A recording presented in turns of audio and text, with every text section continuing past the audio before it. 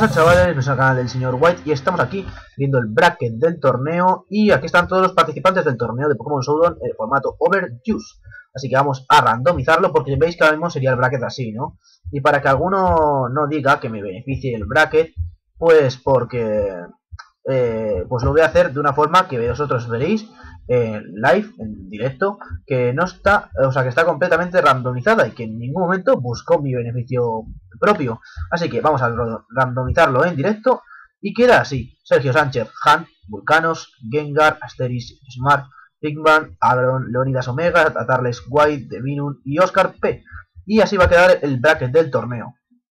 Sergio, Sergio Sánchez, Hank y Vulcanos participan, o sea, pasarán a la siguiente ronda sin un combate previo.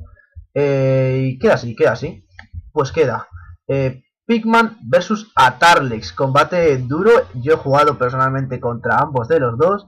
Y luego contra Hank. O sea, ya ahí se reúnen Pigman, Hank y Atarlex, eh, conocidos míos, en las dos primeras rondas. Ya las dos primeras rondas, muy interesante. Y yo me encuentro con ellos en la semifinal, si, si paso obviamente estos dos combates muy complicados que es Yosimar, un suscriptor mío que lleva bastante tiempo en el canal siendo suscriptor, y Vulcanos, que era el que empezó con la idea de la comunidad, que dijo que a lo mejor no podía participar y bueno, quien gane de yo y Yosimar, pues entonces si Vulcanos no puede participar, pues pasaríamos directamente a, a la semifinal, o Yosimar o yo.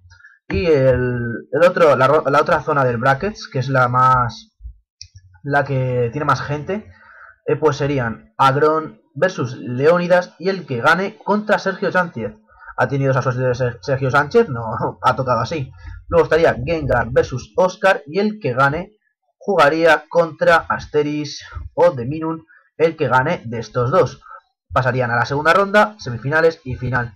Horarios. Horarios, en principio, deseo que se haga el viernes, sábado y domingo a las 10 de, a las 10 de la noche, horario español, que es la GTM más 1. Sería a las 10 de la noche, sería a las 22.00 y para muchos para los argentinos sería a las 5 de la tarde más o menos, no, para los argentinos sería a las 7 de la tarde más o menos y para los mexicanos sería a las 4 de la tarde aproximadamente.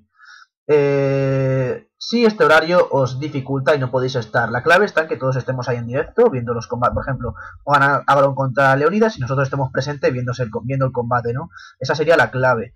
Pero claro, ahora dirá alguno, pero si Agron no puede porque le viene muy mal el horario a esa hora, eh, pues entonces Agron tendría que ponerse en contacto con Leonidas. Es por eso es recomendable que todos pongáis vuestra forma de contactar con vosotros en el eh, acá abajo en los comentarios y si o sea, si por ejemplo Agron no pudiese eh, participar a las 10 de la noche, horario español, que es la GTM más 1, pues debería de ponerse en contacto con Leonidas.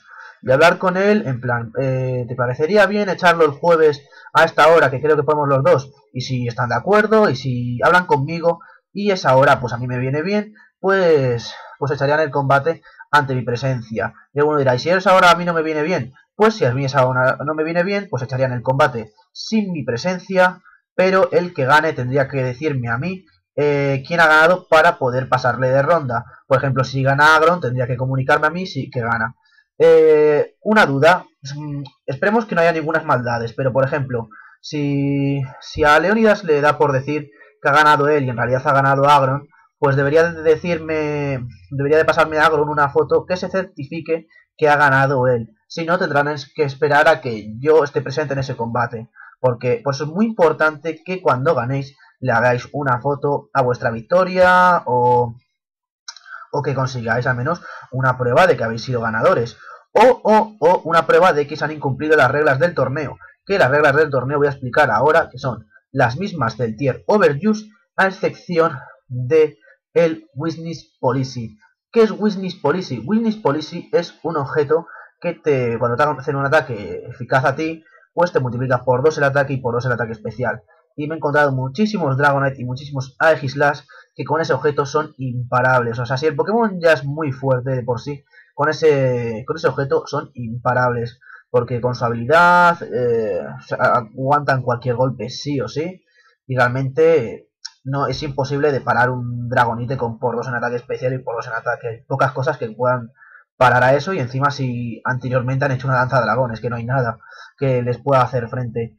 Y también voy a, voy a prohibir el stall. ¿Qué es el stall? Pues es la utilización masiva de sustitutos, protecciones, tóxicos y movimientos que cure la salud. ¿Por qué esto? Porque ayer estuve jugando unas cuantas partidas de Pokémon Showdown, yo ya estoy en el ranking de Overuse, el 1500 por ahí, y la gente, Dios mío, qué asco dan algunos.